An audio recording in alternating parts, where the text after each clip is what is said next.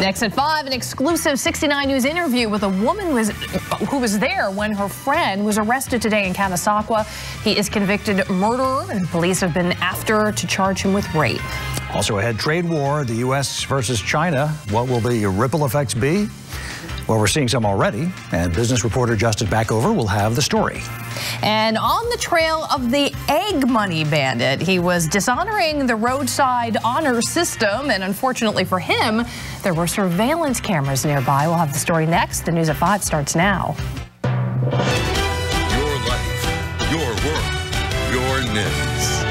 This is 69 News, live at 5.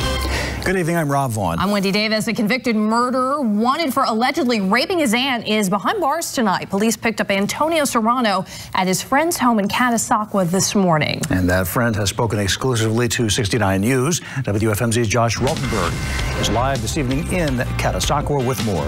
Josh? Yeah, Rob Wendy, the woman, Anna Avila, says that she lives here by herself at her race street.